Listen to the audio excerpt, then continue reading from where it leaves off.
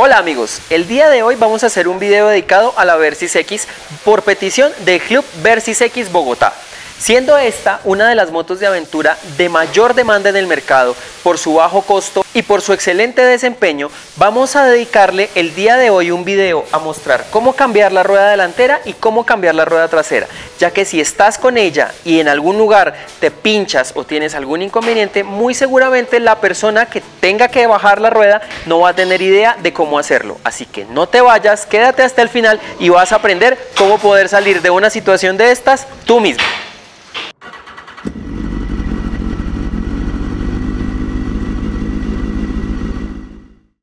La Versys X ha sido una moto que ha tenido muy buena acogida ya que Kawasaki de manera muy inteligente utiliza uno de sus motores más confiables, el mismo motor utilizado para la Ninja 300 y desarrolló toda una moto trail alrededor de este motor haciendo modificaciones en el chasis para tener una moto de aventura a un bajo coste y unas excelentes prestaciones además de una gran confiabilidad. El día de hoy, debido a una charla que tuvimos la semana pasada con todos los amigos de Versys X Bogotá, vamos a hacer este video para explicarles a todos ellos y a todas las personas que quieran comprar esta motocicleta cómo poder desmontar la rueda delantera y la rueda trasera, además de cómo poder hacer el cambio de pastillas. Entonces, acompáñenos. Lo primero que vamos a necesitar como herramienta va a ser una llave o copa 17 milímetros, una llave o copa de 27 milímetros.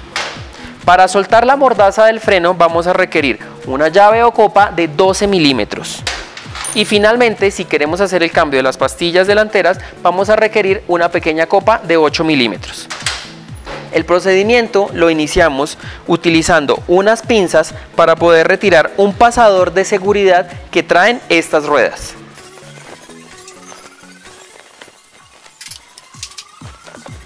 Lo siguiente que debemos hacer es utilizando la llave número 17 y con la copa número 27 en el otro lado, hacer una fuerza para desmontar completamente la tuerca.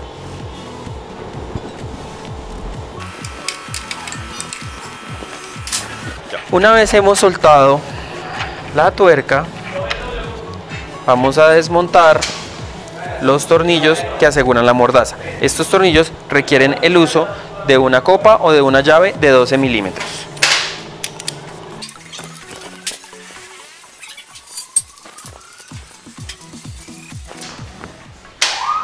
Haremos fuerza hacia atrás y tendremos afuera nuestra mordaza, facilitando todo el resto de operaciones. El siguiente paso, y empujando la moto hacia atrás para facilitar la extracción del eje, vamos a retirarlo haciendo un poco de presión sobre el mismo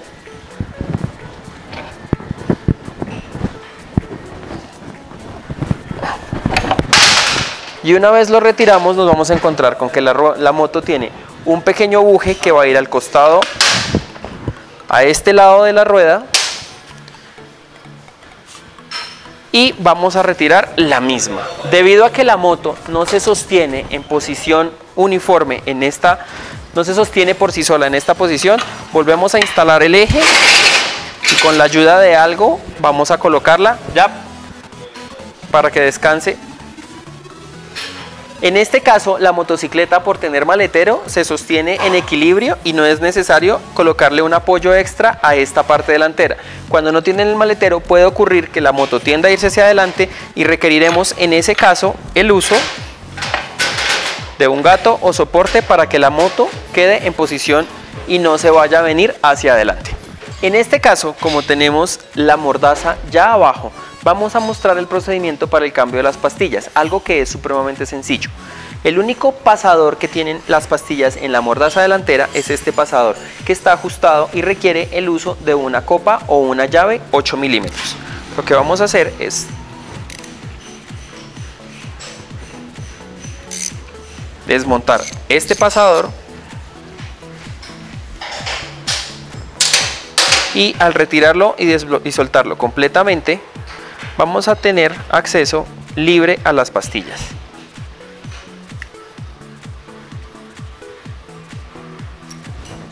Lo retiramos. Vamos a ver cómo podemos retirar las pastillas de una manera bastante sencilla.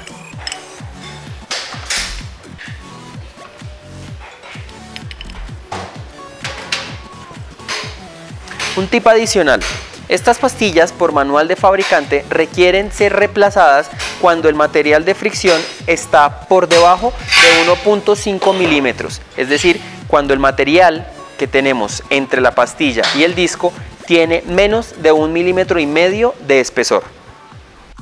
En este caso estamos haciendo un ejemplo de cómo se pueden desmontar las pastillas. En el caso de que ustedes decidan hacerlo en sus casas, deben mantener siempre una limpieza correcta de esta zona. Así que para colocar unas pastillas nuevas se debe hacer mantenimiento completo a los calipers, a los émbolos y mantener toda esta zona completamente limpia sin ningún tipo de lubricante. Vamos a proceder a instalar las pastillas y lo que vamos a hacer es colocar la pastilla del lado interno, del lado externo, perdón, vamos a tener una piecita acá que vamos a asegurar al borde interior de, la pastilla de esta, de esta parte de la mordaza. Vamos a ubicar la pastilla y vamos a colocar la segunda pastilla nuevamente en la misma posición teniendo en cuenta este pequeño pin ubicado allá en la parte del fondo. Lo siguiente que vamos a hacer una vez ubicadas las pastillas es ejercerles una pequeña presión hacia acá por, debido a esta plaquetica que es la que se encarga de presurizarlas y lo que vamos a hacer es instalar el pasador en este sentido.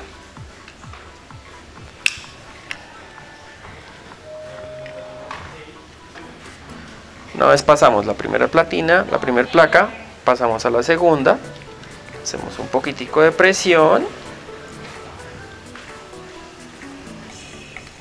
y una vez hemos llegado a este punto vamos a hacer el ajuste de este perno.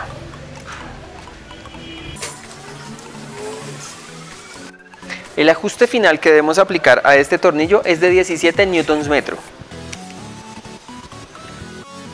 Para instalar la rueda, lo que vamos a tener presente es que tenemos que instalar estos dos bujes. Los dos bujes son exactamente iguales en dimensiones, así que no vamos a tener ningún inconveniente de que los dos se nos muevan o se nos crucen. Pero sí es muy importante que los dos los debemos engrasar correctamente para asegurarnos que se queden en su posición al momento de instalar la rueda porque tienden a caerse. Vamos a instalar este buje y vamos a instalar el del lado contrario. Ahora, lo siguiente que vamos a hacer, y es la parte un poquito compleja de la instalación, es levantar la rueda y pasar el eje lo más rápido posible por en medio de los dos bujes.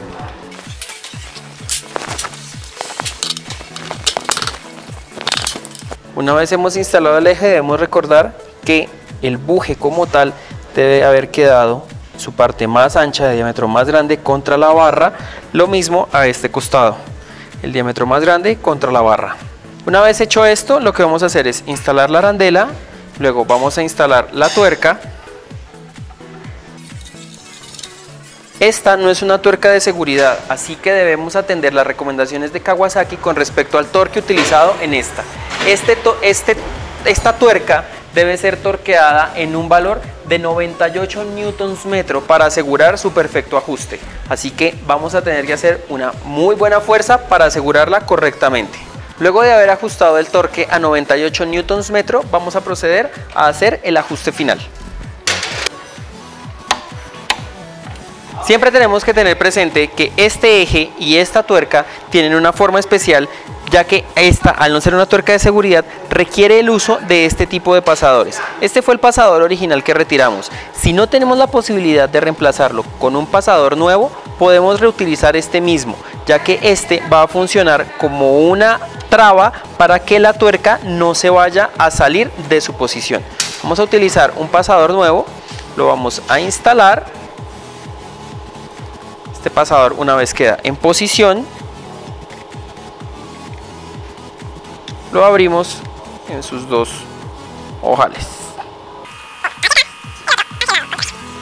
El siguiente paso es la instalación de la mordaza y lo que vamos a hacer es, pronto con la ayuda de un destornillador para facilitarnos la, la instalación de la misma, abrir un poco la ubicación o las pastillas.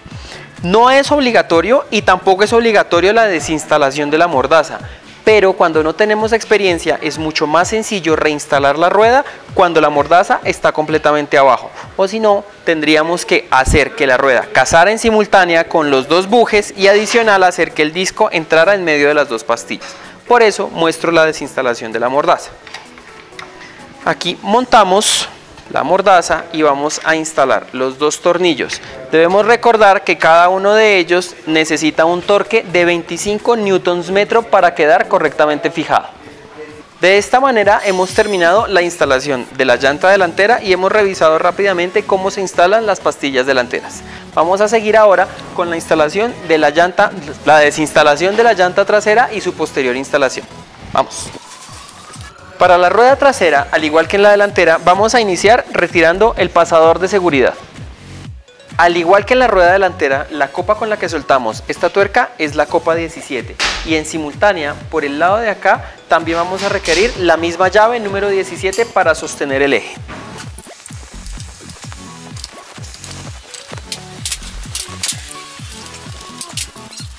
Estos son los indicadores de la tensión de cadena, ya que en la parte superior vamos a encontrar unas pequeñas marcas y en este mismo vamos a encontrar una marca en la parte de acá. Esta marca también está en la parte superior o en la parte inferior, así que independientemente de la posición en la que lo coloquemos, la marca nos va a seguir indicando en qué posición está el tensor de la cadena.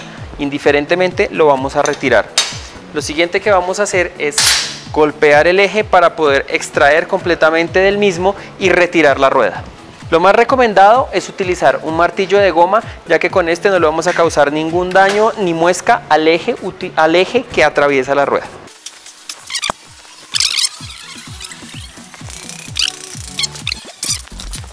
Nuevamente nos vamos a encontrar con un buje que va al lado derecho de la rueda y otro buje que va al lado izquierdo. De la misma manera que en el caso de la llanta delantera, ambos bujes son exactamente iguales, tienen las mismas medidas, así que no hay ningún inconveniente en cómo los coloquemos.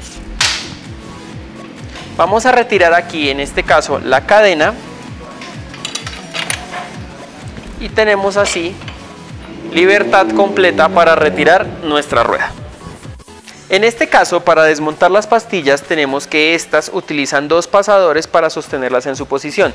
Para cambiarlas, lo que vamos a hacer es retirar estos pasadores y así tendremos acceso a las mismas.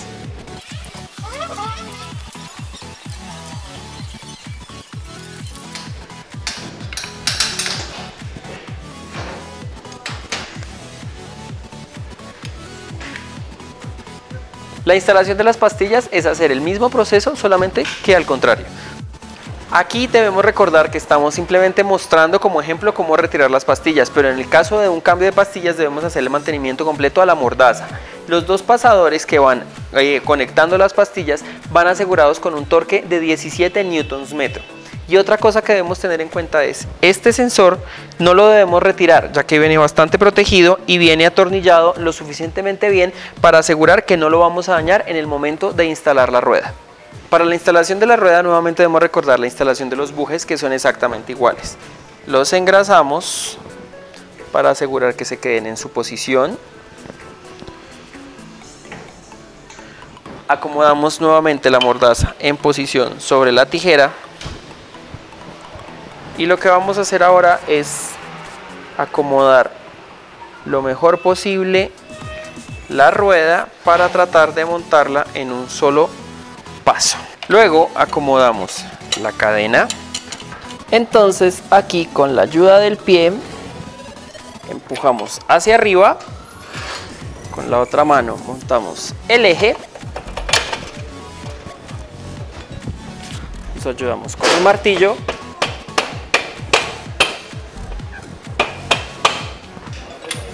Los tensores de cadena, que son estos, van a ser un poquito estorbosos, pero con un poquitico de paciencia vamos a tener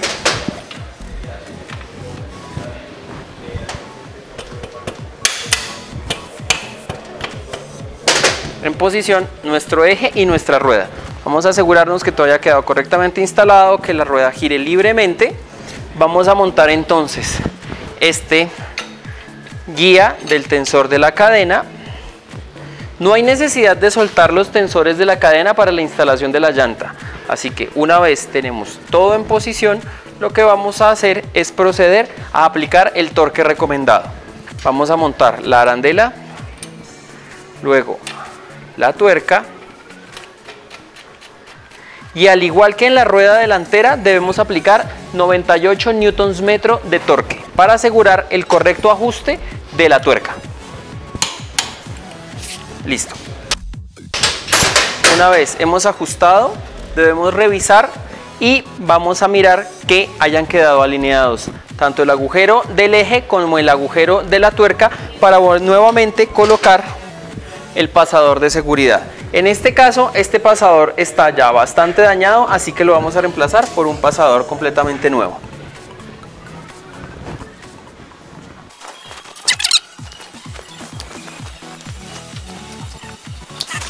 Y de esta manera hemos terminado la instalación tanto del eje como del pasador. Los tensores no se han desacomodado de su posición, así que seguimos teniendo la cadena exactamente en la misma ubicación. Lo que sí tenemos es las pastillas un poco abiertas, así que la siguiente parte será ciclar los frenos para asegurarnos de que las pastillas ya han sentado correctamente contra el disco. Ya hemos terminado el día de hoy de instalar las ruedas en esta Versys X. Agradecemos al Club Versys X Bogotá por haber confiado en nosotros para solicitarnos este video. Y esperamos que a todos aquellos que tienen esta motocicleta o están pensando en comprarla les haya servido. Porque recuerden, el conocimiento es de todos. Nos vemos en nuestro próximo video. Síganos en nuestras redes sociales de Facebook, Instagram y YouTube. Denle click a la campanita y nos vemos para la próxima.